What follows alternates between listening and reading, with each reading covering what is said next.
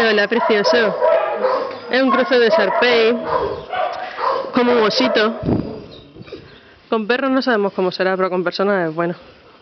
¿Verdad? Le hemos estado haciendo fotos, pero se nos olvidó hacer el vídeo. Oye, ven. Ven. ¿Qué pasa, tío? Ha sido un cruce de Sarpey negro. ¿Eh?